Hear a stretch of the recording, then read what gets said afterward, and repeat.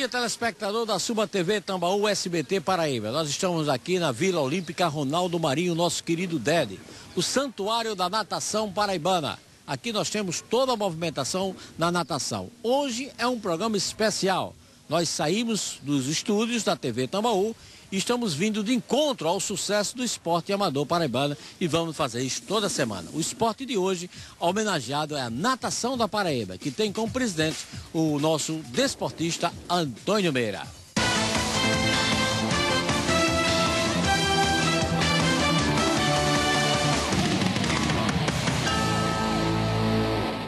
Continuamos aqui na Vila Olímpica Ronaldo Marinho, nosso querido Ded. E o repórter Lomar Araújo vai conversar com o pessoal dos saltos ornamentais.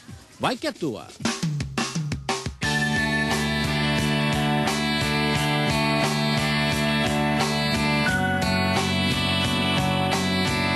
Nesse esporte aquático, a Bruna Brunet vai nos representar no Pan-Americano de Guadalajara, no México. Eu tô treinando muito forte, de segunda a sábado. Tem, na terça e na quinta eu treino de manhã e de tarde, poder aperfeiçoar os saltos, é, melhorar e tentar aumentar o grau de dificuldade para ficar mais fácil porque com grau maior você tem mais chance. Na terça e na quinta a gente treina de 5 e meia, a piscina gelada, às vezes até tá chovendo e a gente vem pra cá.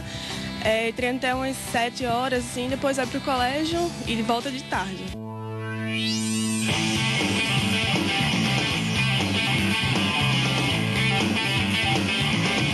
Nós estamos com um trabalho bastante intenso, estamos caprichando os saltos que ela vai executar lá nos Jogos Pan-Americanos.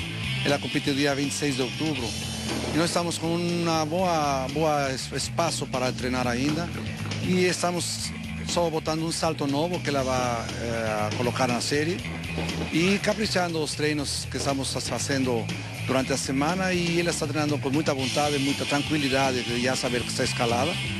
Então estamos eh, só esperando chegar o mês de outubro para, para ver que, que resultado nós conseguimos. Nós sempre mantemos o, as, a abertura das vagas para novos alunos durante o ano todo, não fechamos. E hoje estamos com uma escolinha bastante numerosa que estamos trabalhando, com vistas ao campeonato né, brasileiro que é em novembro para eles e tentar também eh, fazer um grupo bom dessas, dessa faixa etária de menores e de aí desenvolver saltadores de, de alto nível para Paraíba.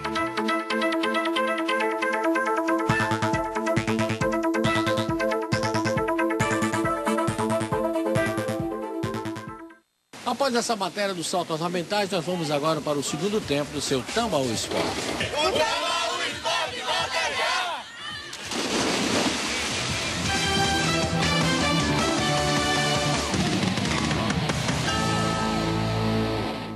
Secretário de Esporte Fábio Maia, o Esporte Aquático, a Federação Paraibana Natação, uma boa parceria para a Secretaria.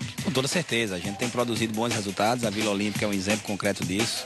Temos vários atletas que têm se destacado, temos o próprio Caio Márcio, que foi atleta, que treinou aqui na Vila Olímpica, e hoje nós temos aí uma referência nos saltos ornamentais e vamos ter ser palco aqui na Paraíba, aqui na Vila Olímpica, e campeonatos a nível regional e a nível nacional aqui na cidade de João Pessoa. Um fato importante que aqui já está se preparando, né, com os devidos é, cuidados profissionais para Olimpíadas Escolares, que serão quase 5 mil atletas aqui em João Pessoa. De fato, a, teremos aqui a etapa de 12 a 14 anos aqui na cidade de João Pessoa.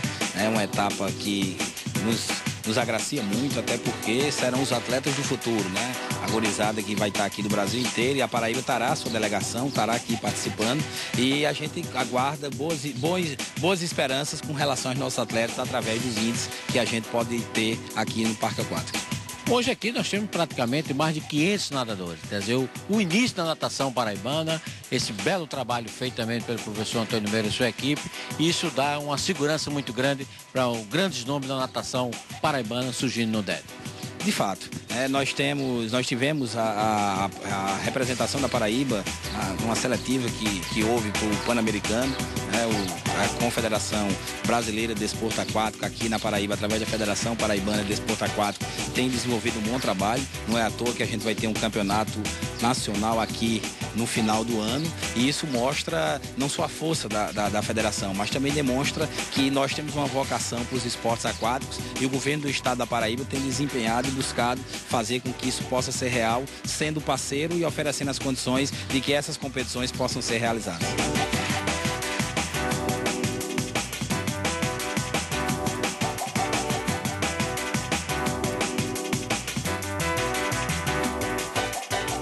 Confederação Paraibana de Natação, o governo do estado, através da Secretaria de Esportes, estão de parabéns.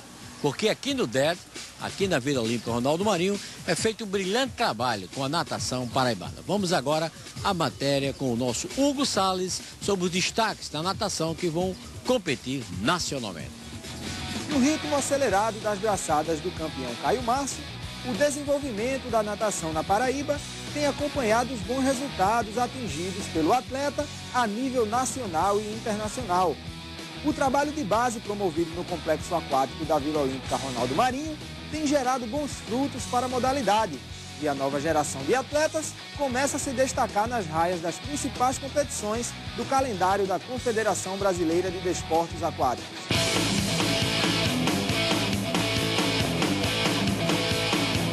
Assim como em outros esportes e em diversos segmentos da vida, esse sucesso está diretamente ligado ao duro trabalho de aperfeiçoamento e ao intenso programa de treinamento. Nós estamos preparando a equipe de 13 anos acima para o Campeonato Paulo de Figueiredo, que acontecerá agora em setembro. Essa preparação veio desde janeiro.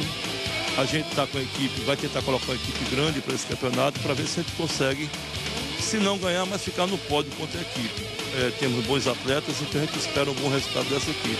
Apesar dos rostos e características físicas ainda demonstrarem que eles são bastante jovens, os destaques da equipe não têm moleza. Se dedicam aos treinos como gente grande.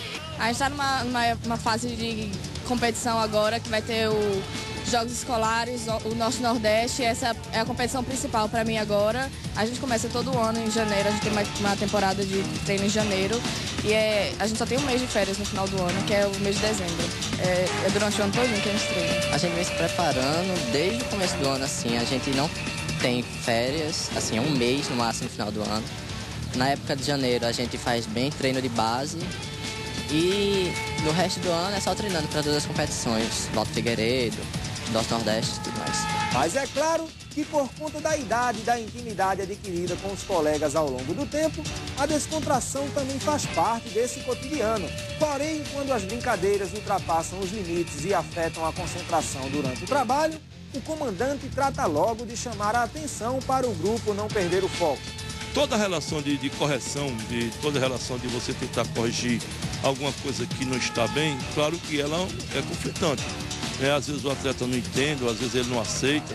E às vezes nós temos que, que agir porque isso é esporte de competição. Nós temos maior respeito, a nossa, a nossa relação é uma relação respeitosa e muito boa, mas na hora que precisa que a gente chegue perto, a gente chega perto e eles obedecem. A equipe já reconhece os métodos utilizados para conter esses excessos. Bastante apito, muito e gritos, principalmente. Mas sempre levando para o lado da brincadeira também, mas na hora certa. Focados nos treinamentos, os atletas agora se preparam para as quatro grandes competições desse segundo semestre. O troféu Maurício Becker, o brasileiro infantil de 13 a 14 anos, além do Caco Caminha e do Walter Figueiredo. E a maioria deles já reconhecem o grau de dificuldade dessas provas e sabem quem são os principais adversários que vêm pela frente. Galera de Pernambuco é uma equipe muito forte, então assim, eu acho que tem a maior, maior adversária de Pernambuco, do Nikita César. Mas é com base nesses desafios que o grupo segue firme em busca de novas conquistas nas belas e agitadas águas do esporte.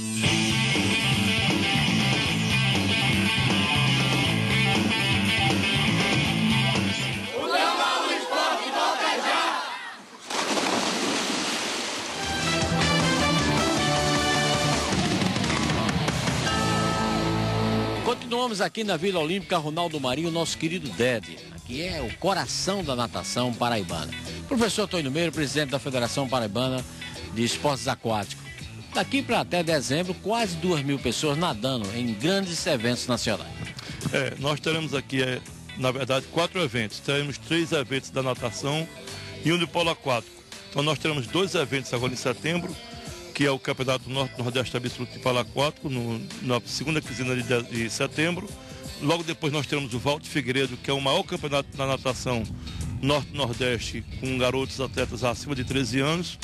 Em outubro nós teremos o CAC Caminha para garotos de 9 a 12 anos, uma, uma perspectiva de 500 atletas aqui. E em novembro, no final do mês de novembro, nós teremos aqui a maior competição na natação brasileira em volume de atletas, que é o Campeonato Brasileiro Maurício Beck para atletas de 13 e 14 anos. Quer dizer, João Pessoa, Paraíba, estará recebendo aqui realmente quase duas mil pessoas nesses eventos que irão acontecer nesse segundo semestre do ano 2011.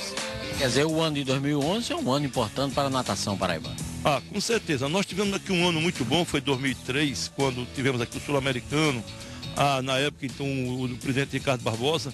E agora nós estamos tendo esse, esse pool de eventos aquáticos, sendo o maior, o maior, a, maior, a federação que teve o maior evento, maior quantidade de eventos de lá para cá, é, de todo o Brasil. Então nós estamos com quatro grandes eventos acontecendo aqui em João Pessoa nesse segundo semestre.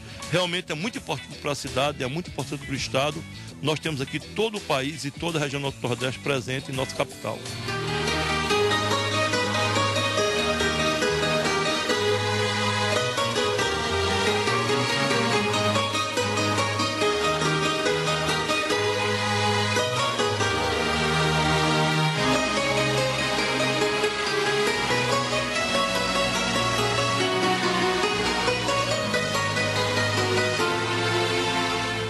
Continuamos aqui no DED na Vila Olímpica Ronaldo Marinho. Temos agora uma matéria com o repórter Ilomar Araújo que fala sobre a iniciação na natação. Nesse programa especial de hoje, mostrando os esportes aquáticos aqui da Vila Olímpica Ronaldo Marinho, a gente não podia deixar de trazer a essência para mostrar para toda a Paraíba. A essência da natação aqui da Vila Olímpica, do estado da Paraíba.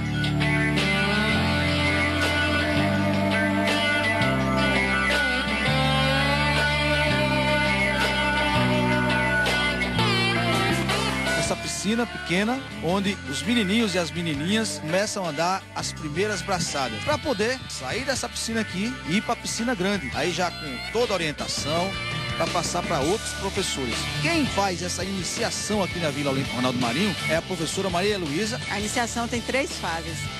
Ah, quando quem começa é, sem saber absolutamente nada, os que sabem um pouquinho e os que já sabem, é, já fizeram a, a, iniciação 1 e 2 e vai fazer a terceira fase, que faz na piscina rasa, mas no, no, nos 25 metros, na distância, que é uma aula mais puxada, que é a preparação para eles irem para a piscina olímpica. Na piscina olímpica eles fazem um aperfeiçoamento, um, dois, até chegar à equipe, pré-equipe e equipe. A natação aqui da Vila Olímpica Ronaldo Marinho está sempre em movimento, sempre evoluindo. Eles vêm segunda, quarta e sexta ou terças e quintas, quem não pode vir segunda, quarta e sexta. A gente tem aula de duas da tarde às quatro e meia. E as turmas são formadas por 30 alunos, às vezes passam um pouco mais. E eles passam em média dois meses em cada fase. Eu acho que aqui no DED é onde a gente está aprendendo a nadar mais rápido da Paraíba.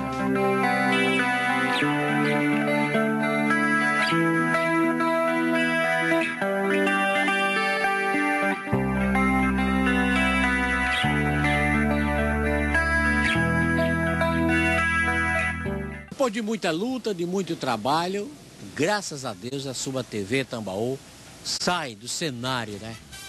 Casa, aquele cenário fechado e vem de encontro à comunidade esportiva.